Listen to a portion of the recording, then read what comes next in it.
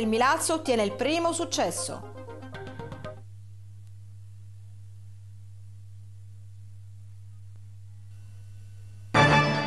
Il segretario della CGL Lilloce è un attacco all'amministrazione, chiuso in una torre d'avorio e ignora i problemi reali della città.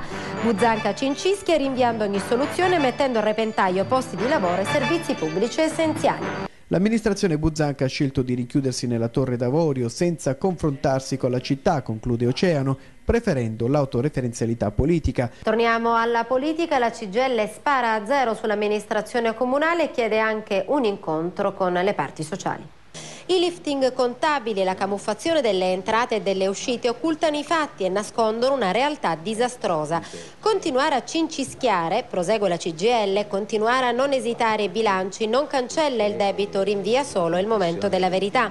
La maggioranza dei consiglieri della sesta circoscrizione ha votato la richiesta di dimissioni dell'assessore alla viabilità Melino Capone. Avrebbe dimostrato di infischiarsene dei seri problemi di traffico della zona di Torre Faro. Dopo Isgro, adesso è la volta dell'assessore l'assessore Capone finire nel mirino delle circoscrizioni.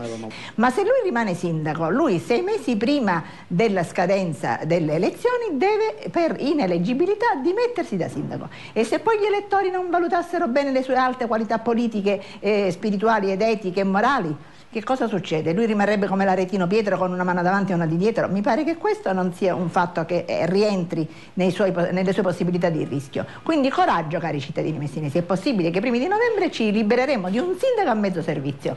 A ben risentirci, cari cittadini messinesi. La Caravaggio Mania non finisce qui. È stato già programmato che nella primavera del 2012 25 tele di Caravaggio andranno in Brasile e in Argentina. Vedremo se anche Messina sarà chiamata a questo ulteriore appello. Ladri eh, definiti professionisti, topi d'appartamento, eh, hanno commesso alcuni colpi, alcuni furti, soprattutto in appartamenti del centro di Messina, presi di mira appartamenti della cosiddetta Messina Bene, dell'azienda eh, ospedale Papardo Piemonte e chiede la nomina di un manager esterno. La eh, eh, Will e la CISL invece hanno avviato questa mattina la petizione popolare per scongiurare la chiusura di questa importante struttura all'interno della ex Sanderson di Pistunina per evidenziare soprattutto il degrado di quest'area e poi tanto sport, ampia pagina sportiva con il calcio, ma vi aspetto dopo la pubblicità.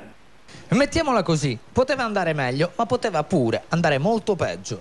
Ed è tutto, grazie per averci seguito, buon pomeriggio.